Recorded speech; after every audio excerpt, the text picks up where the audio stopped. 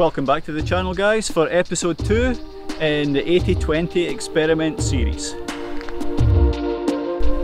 This week we're going to look at how you can accurately predict your training zones for the 80-20 experiment. So for that you're going to need two different numbers. The first one is your resting heart rate which is easily established by taking your pulse each morning for one minute before you get out of bed. You can either do it just holding your wrist or you can do it with your chest strap with your GPS watch. Whichever way is very easy. So take your resting heart rate first thing in the morning over the course of a week and we'll take the average of that resting heart rate. The second number we're going to need is the maximum heart rate and that one's a little bit more difficult to establish. So you're probably familiar with the 220 minus your age for your maximum heart rate but that's quite loose and is not very accurate. It's going to vary greatly from person to person for your genetics, for your fitness level, um, a number of factors. So this is a test that we're going to do today to accurately discover your maximum heart rate. So two things you're going to need for the maximum heart rate test are a chest strap for your watch if you have wrist based, please don't use it because for this test they're very inaccurate and not so reliable. So use the chest strap. The other thing you're going to need is a hill.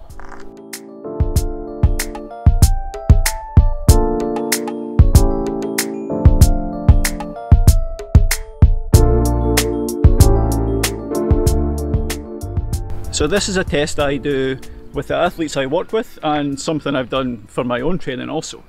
Um, at the end of this test, we'll, we'll see how accurate or inaccurate the 220 minus your age actually is. So the way it's going to work, you're going to have a good warm up, 10-15 minutes with a few surges, maybe spending one minute, two minutes at a time at or around your threshold, uh, just to make sure that your lactate level is up and you begin to bring it back down. So it's not a complete shock when you start the test.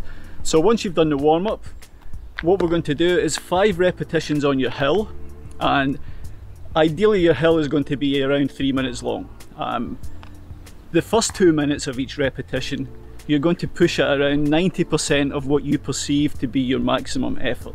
So you're not going to go full speed right from the beginning. Allow your heart rate to build up over those two minutes and then on the last minute you're going to push with a maximum effort. And to recover you're going to jog back down not a completely slow jog, keep your heart rate up a little and we're going to do five repetitions. You're probably going to find your maximum heart rate happens on the third or fourth repetition and you'll probably find five or ten seconds after you finish each rep is when the heart actually spikes. So not when you're running itself but when you stop and begin to recover so so keep an eye on the watch for that. So are we ready? Let's get to work.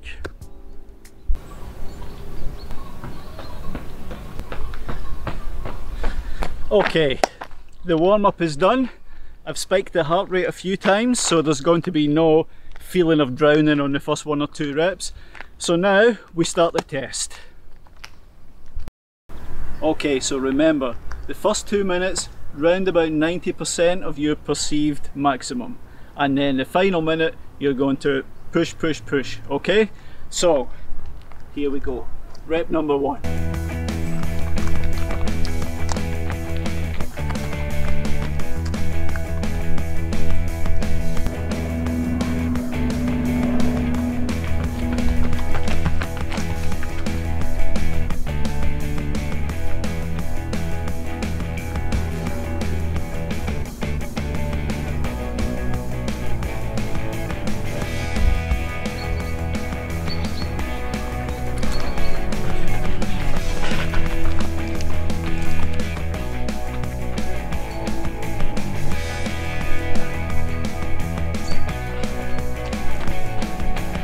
180.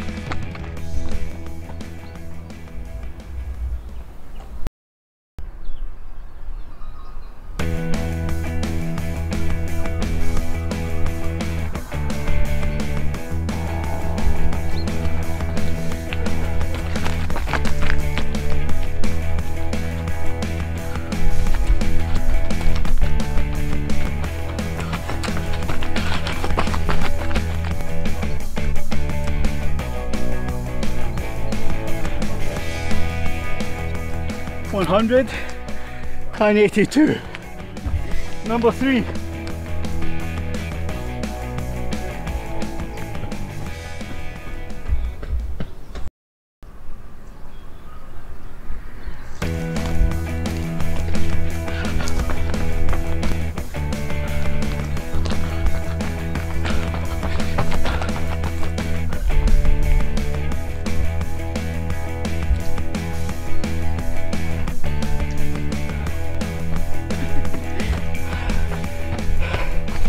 One eight three.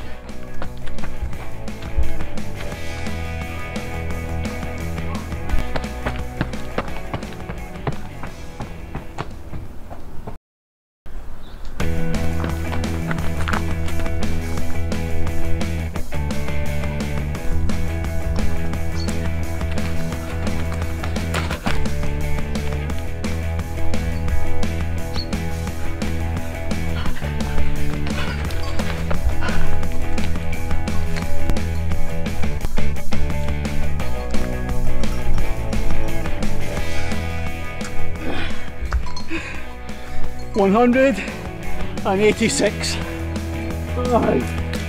Last time.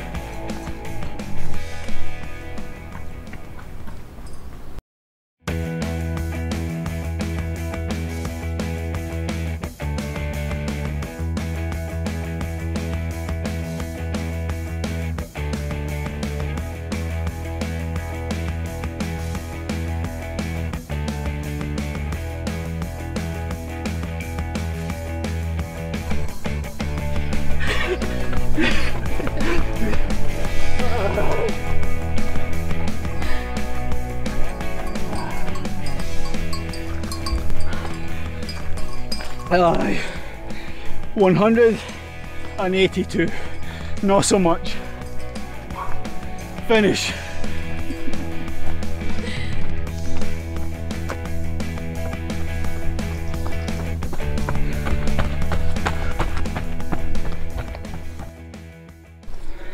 Okay, so there we are. Maximum heart rate achieved was 100 and, 186 BPM. Now that's important because if we took my age 42 I know it's hard to believe but it's true. If we did the traditional 220 minus 42 my maximum would be 178 so there's a discrepancy there of 8 BPM and that's important for what we're going to use once we get home. So let's have a shower and we'll talk about what we do with this data. See you soon. I won't be rushing back to do that anytime soon so now we've got that all important maximum heart rate number, what do we do with it? The traditional heart rate training model, which you can see on the screen now, is based entirely on your maximum heart rate. Using one of the many available online training zone calculators, you can see the results from my test would give me the training zones you can see on the screen now. You can see that using this method, my zone 2 would top out at 130 BPM and by 149 I would already be in zone 4. Now I know from experience and from previous lab tests that these figures are too low. Thankfully there's another method we can use at home and it's called heart rate reserve.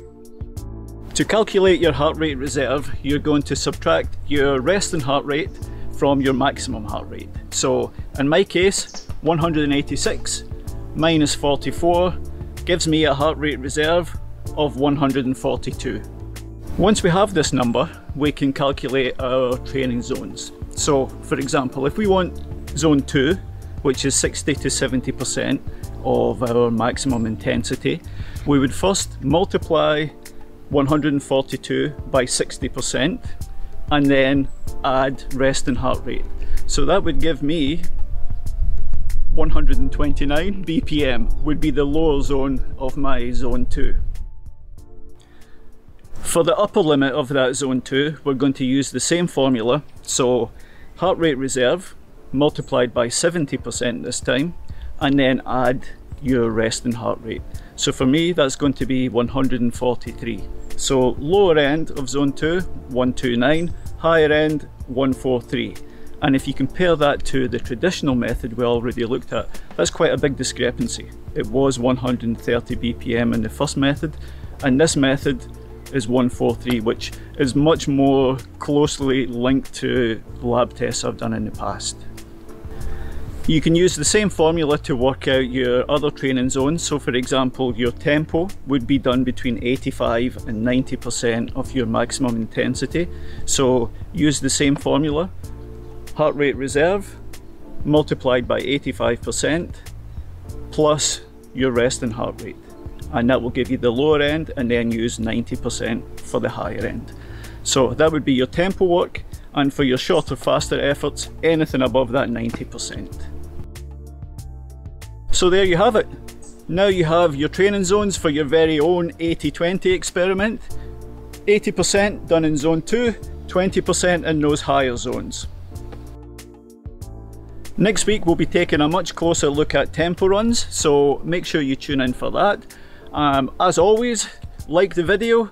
If you haven't subscribed to the channel already, then please do that. Follow along on the social media channels, and I'll see you next week.